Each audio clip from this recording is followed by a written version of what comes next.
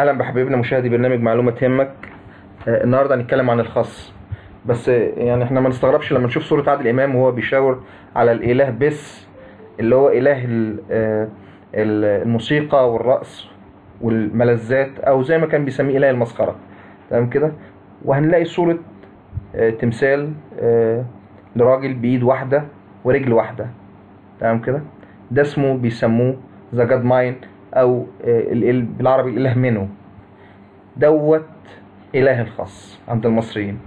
تقول لي إله الخس إزاي؟ المصريين عندهم إله اسمه إله الخس؟ لا هو إله الخصوبة. تمام؟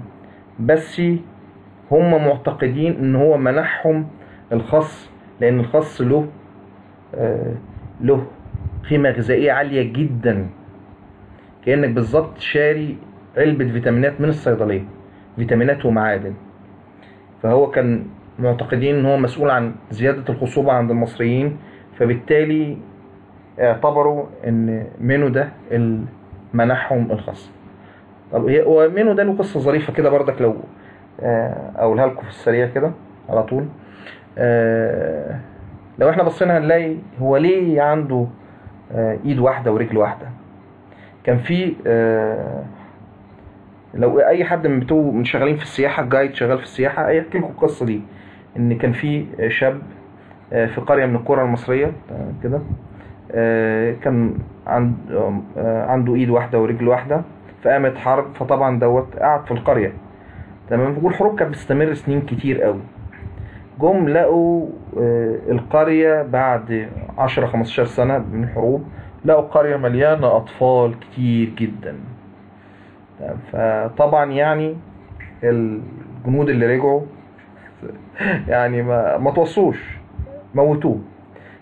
بس القصة بتاعته اتنقلت بعد كده كرمز للخصوبة والمصريين بعد كده اتخذوا منه إله. طبعا يعني دي كانت من ضمن الحاجات اللي الحاجات اللي موجودة عند القدماء المصريين. تمام ديت آه، هنتكلم صورة الخصاية اللي موجودة قصادنا دي ده الخص البلدي أو اللي هو الخص الروماني.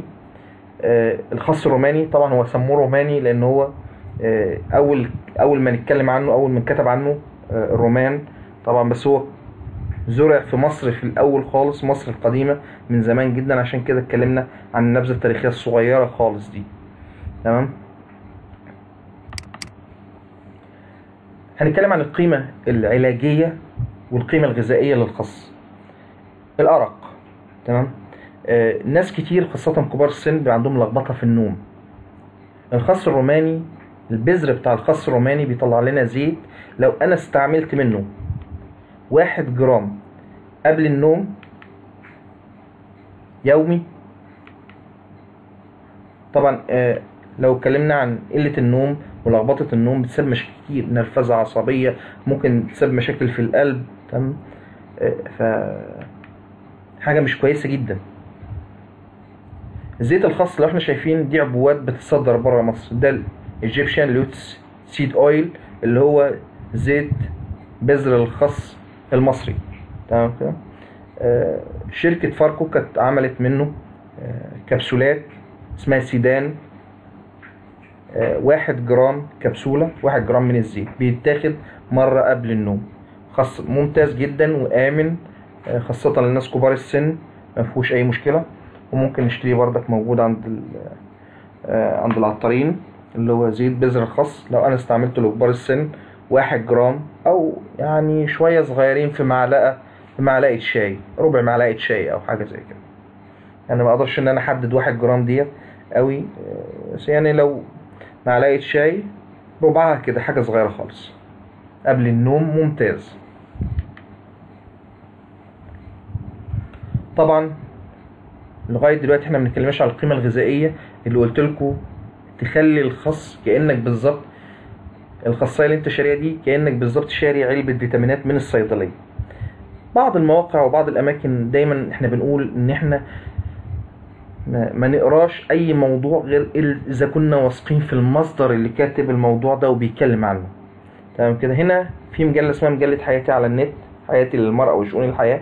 كانوا جايبين كاتبين إن الخص البري له تأثير يشبه تاثير الافيون في تسكين جميع الألام وأفضل مسكن شرعي طبيعي سبحان الله. طبعا هم حاطين صورة الإيه؟ السريس. ده مش خس إيه؟ مش خس بري. خس البري الصورة بتاعته موجودة على اليمين. آه الخس البري بيستعمل الخلاصة بتاعته بتستعمل في علاج الكحة.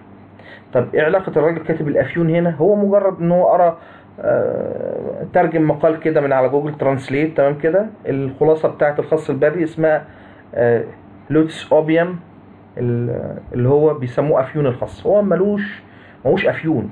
هو شبه الأفيون الخلاصة بتاعته شبه الأفيون. فعشان كده سموه أفيون الخس إنما هو ملوش مسكن زي الأفيون بيستعمل للكحة بس. طبعا دوت الخس البري لو إحنا عايزين ندور عليه.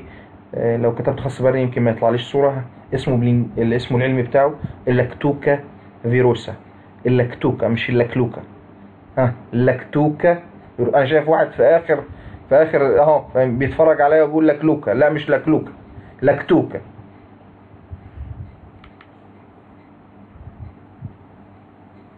آه القيمة الغذائية للخس القيمة الغذائية اللي خلت القدماء المصريين أجدادنا القدماء المصريين يعتقدوا طبعا وما كانوش مخطئين إن هو حاجة. لأن طبعا فاهمني أنا معايا كل فيتامينات معايا معادن ومعادن نادرة. معايا فيتامينات بتركيزات عالية جدا تمام كده؟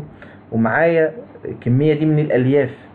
طبيعي حاجة آه، حاجة بتحسن الصحة العامة وطبيعي طب بالتالي برضك هتحسن الخصوبة نتيجة وجود فيتامين ه والسيلينيوم آه، قصادنا هم موجودين. لو أنا بشتري دلوقتي وأنا نزلت السوق هلاقي عندي أكتر نوعين مشهورين اللي هم كريسب هيد اللي هو الكابوتشا والرومين اللي هو الخس البلدي تمام؟ بيسموه خس روماني أو الخس البلدي. تمام كده؟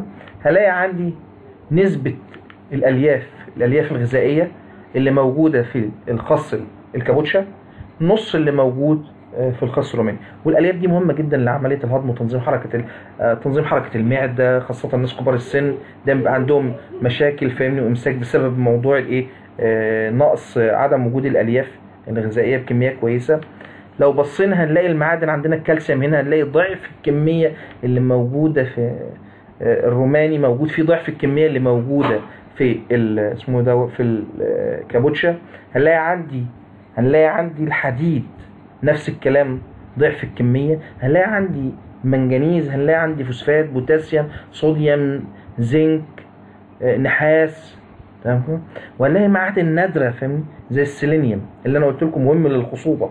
هنلاقي عندي هنا بقى في السيلينيوم يعني في حاجات قلنا بتبقى موجودة الضعف في حالة السيلينيوم موجود أربع أضعاف اللي موجود عندي في الخس البلدي أربع أضعاف اللي موجود في الكابوتشا فيتامين الف هنلاقي عندي فهمني عشر أضعاف موجودين في الخس البلدي وعشر الكمية موجودة أقل واحد يعني عشر أضعاف موجودين في الخس البلدي.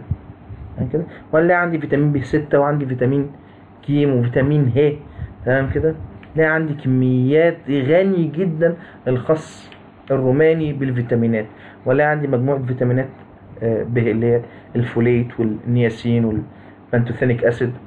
لاقي فأنا حرام عليا فاهمني؟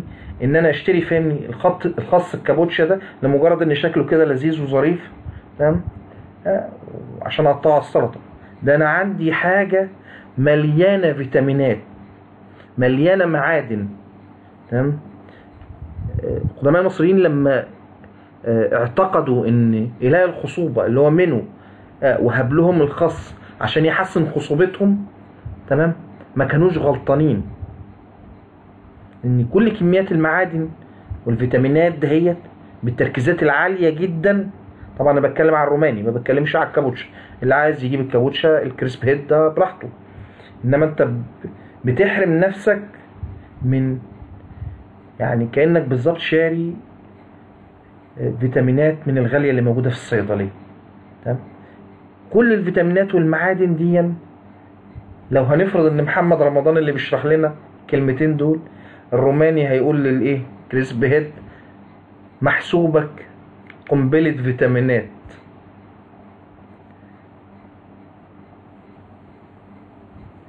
آه، الناس طبعا ما تنساش تشترك على القناة آه، تفعل زر الجرس آه، تشير آه، تنشر المعلومة الصح المعلومة المهمة ديت.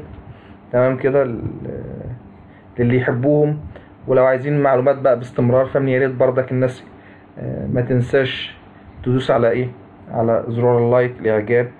ولو حد عايز يسأل في أي حاجة حتى في الأدوية في الأدوية اللي في الصيدلية. كان طبعا كان معاكم الدكتور مصطفى حجازي. مدرس العقاقير والنباتات الطبية وكلية الصيدلة جامعة الأزهر اللي حتى عايز يسأل في النباتات الطبية المنتجات العشبية مستحضرات الصيدلية حتى أنا هرد عليه. شكرا لكم كتير.